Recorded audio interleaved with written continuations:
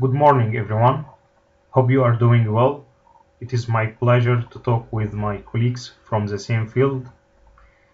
My name is Marwan Mady. I am a researcher and inspector of underwater archaeology in Central Department for Underwater Antiquities, Ministry of Tourism and Antiquities, Egypt. And I obtained an MA degree in maritime archaeology titled by an analytical study of fastening methods in ancient Egyptian shipbuilding from the early dynastic period until the end of late period from Alexandria Center for Maritime Archaeology and Underwater Culture Heritage, Alexandria University. Today, I will talk about did ancient Egyptian shipbuilders use dovetail, mortise, and tenon technique to fasten their ships?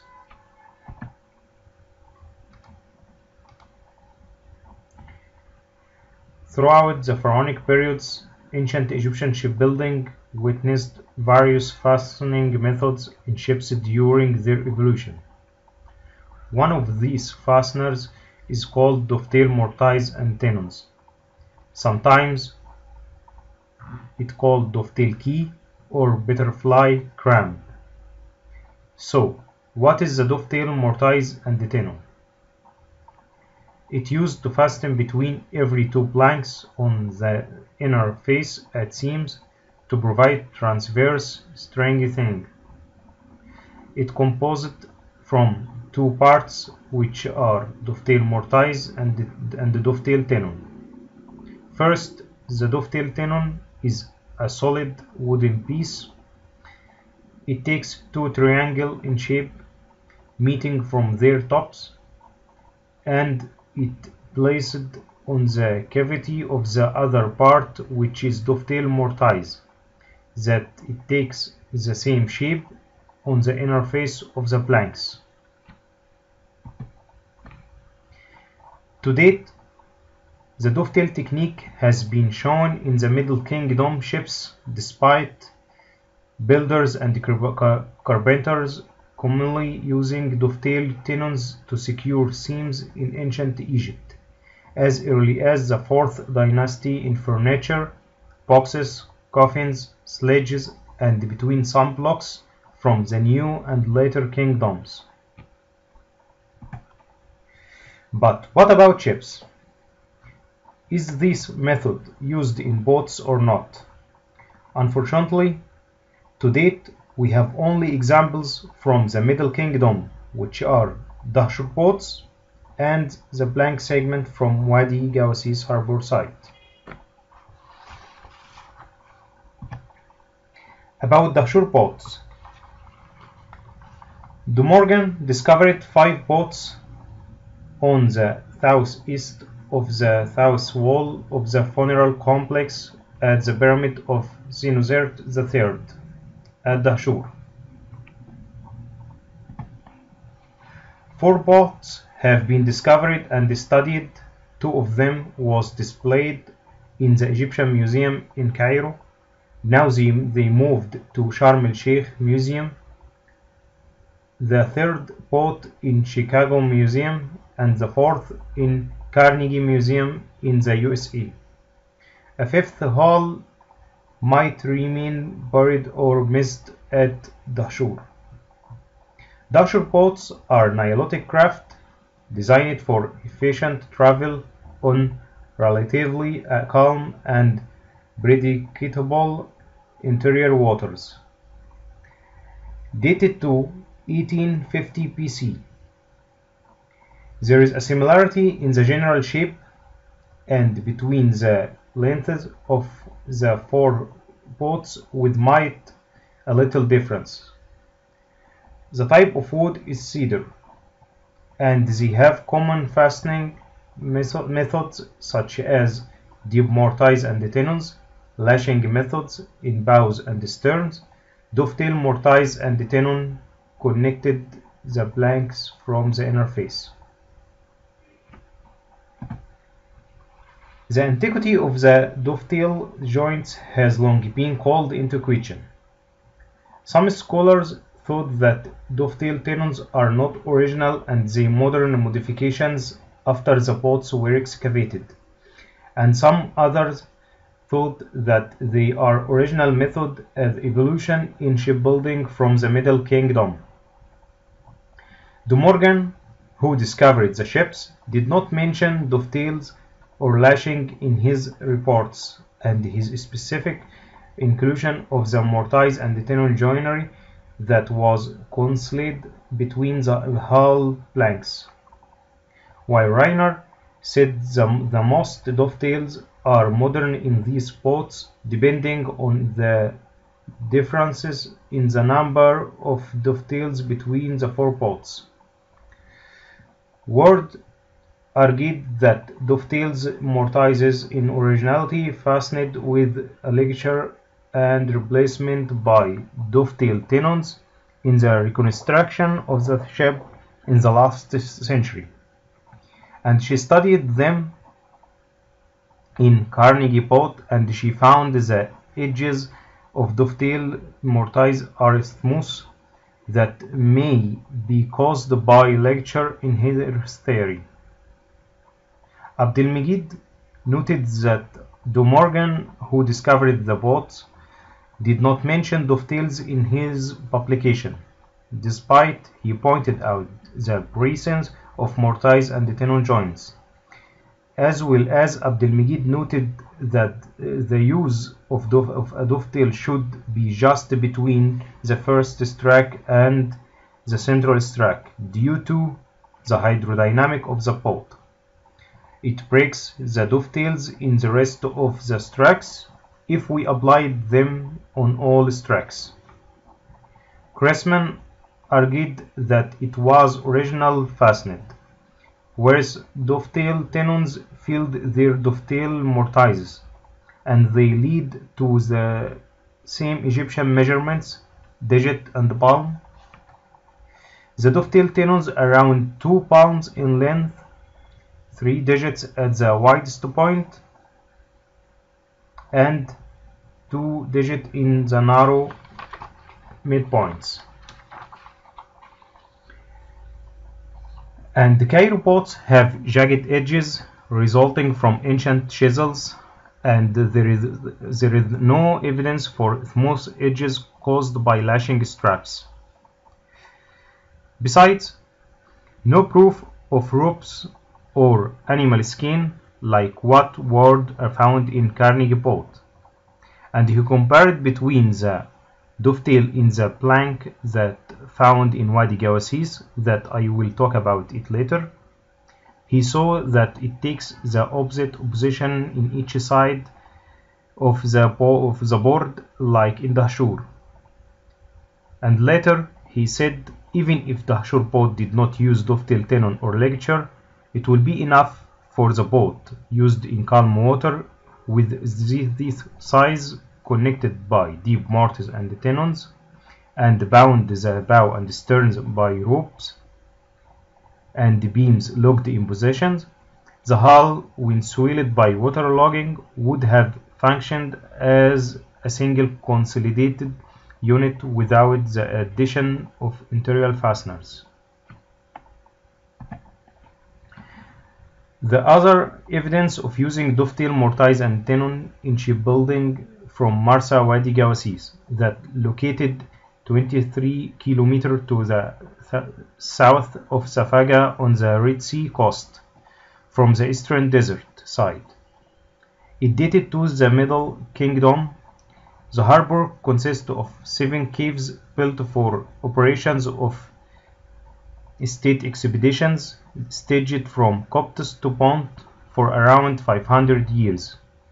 It contains remains of ships' timbers, some of them damaged in parts due to shipworm.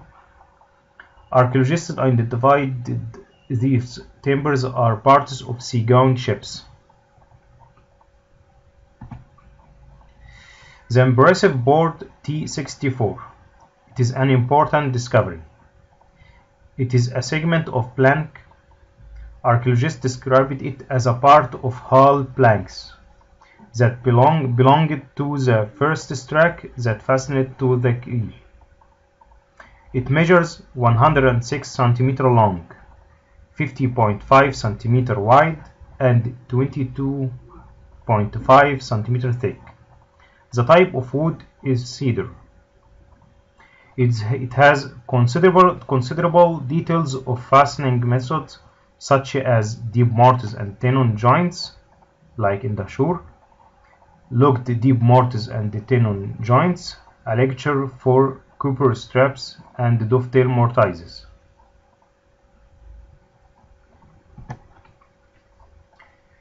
So, if we look at the end of T64, we will find the two opposite dovetail mortise similar to the Dahshur boats, and that is what Creasman makes his theory to confirm the using of dovetail tenon in the Dahshur and not ligature.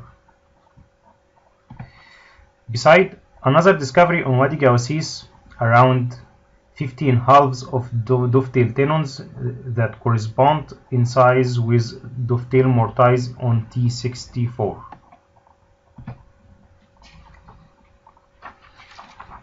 As Ward compared the beam in the Dahshur boat and the beams in Wadi Gawasis and she found the similarity between each other in the square holes at each end of beams and she found those in Wadi Gawasis beams are bigger than beams from the Dahshur boats in size due to Wadi Gawasis beams are belonged to large ships.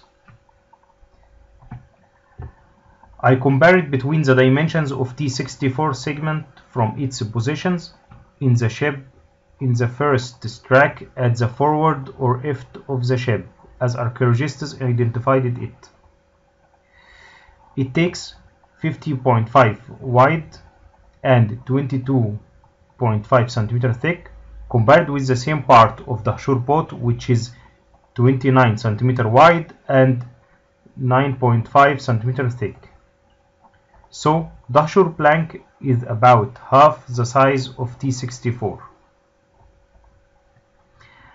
The dimension of the half dovetail mortise in T64 is 14.5 cm long, 3.4 cm wide at the narrow midpoints, 6.5 cm wide at the widest point, and 3.8 cm deep.